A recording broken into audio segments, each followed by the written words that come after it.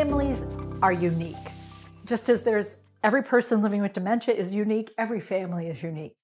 And yet, people within the family may very well experience and appreciate dementia differently. It turns out there's five different potential reactions to having dementia in the family. The first one, the person is not around, so they don't even recognize that anything is going on because there's no exposure to the dementia. So they don't see that there's anything happening. It's a mystery to them because they live elsewhere. They don't make the connection. Second, there is awareness. Well, actually, there's not awareness.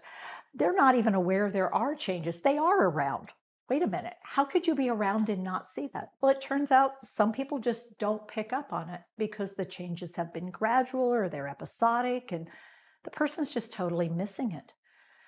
The third possibility is they are aware, they get it, but they just don't think it's a big deal. It's no big deal. I mean, yeah, yeah, yeah, she's had a couple of fender benders.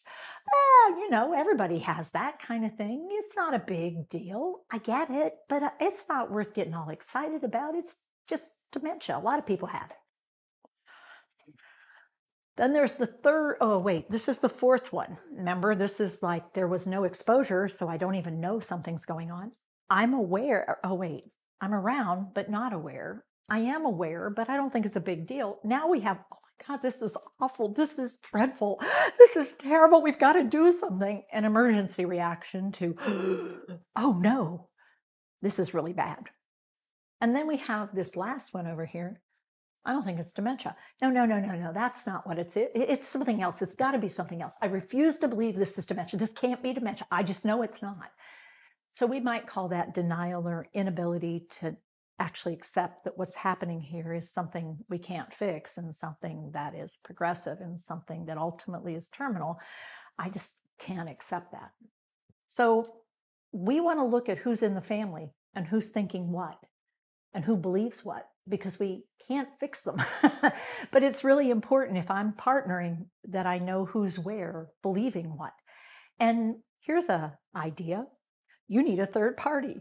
And that third party, not you, not the person living with the changes, but that third party may help you navigate the difference between family members because family dynamics can get really messy when we're on different pages.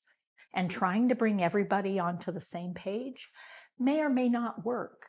You've got plenty to say grace over. You've got plenty to try to cope with and deal with as a partner maybe it's time to bring a team member on who's better at working with family members because there's frequently some history here that might get in your way.